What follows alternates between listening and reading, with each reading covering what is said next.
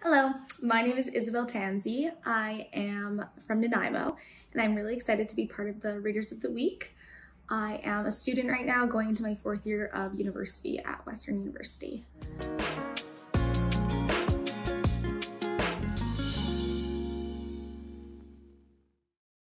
What was your favorite book as a child? I remember loving Effie's Bath. I don't know if anyone has heard of it, but basically these two girls are in the bathtub and they dive down and it's a big ocean and I had a really big imagination so I remember really loving that one. Um, what is a recent book you read? So recently I read Reasons to Stay Alive by Matt Haig. Um, I would recommend this book to anyone. I think it's really, really well done. It's basically about living with mental illness um, so the writer actually suffered from severe depression and other comorbid mental health issues. And it's just really honest. And I think it it's hard for people to understand when people are going through a mental health um, issue. And this really illuminated all the, very honestly, everything that he faced. So if you're interested, I'd definitely recommend. What other resources do you use from the library? I'm a student, as I said, so I do a lot of papers and a lot of research. I'm in science, so I use a lot of the search engine, engine databases to look for scholarly papers and journal articles, so I use it a lot. Very helpful. How do you think your life story affects your relationship with the types of books you're drawn to?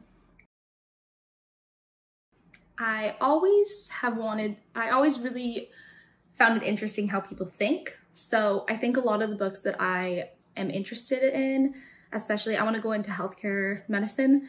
So I look or I want to read a lot of the books that are about that. I think it ties into a big part of who I am, trying to understand people a little bit better um, so I can ultimately connect and help them. So I, yeah, I read a lot of psychology books and medical books. What does the library mean to you? When I think of the library, I think of it a safe space. It's a community where you can learn and indulge in knowledge and information. Um, I love learning and reading and just finding out everything I possibly can. So I really love the library.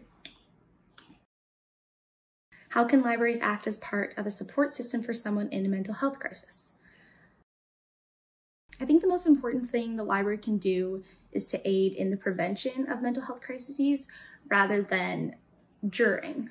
Um, I think it's a community that could aid in supporting resources. I know the library has a ton of resources, so and they're all really they're private and secure, so you don't have to feel any judgment or shame while you're searching. Everything is private, and I think that's really important.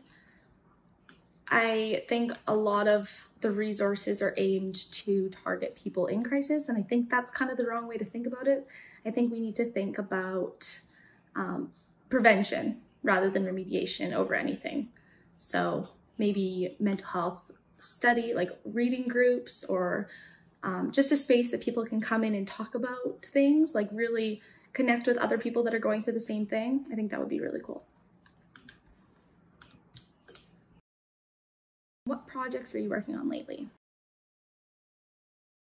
Um, so in November um, of last year, I had a good friend die by suicide. Um, it was really, really hard on myself and the, my community at school.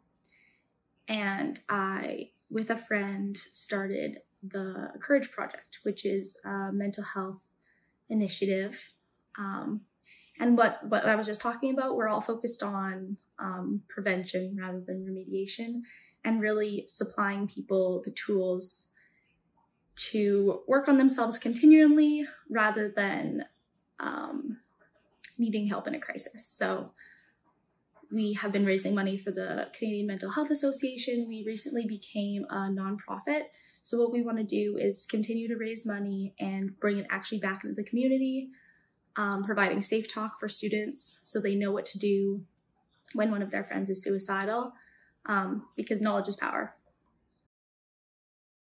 Strong libraries, strong communities.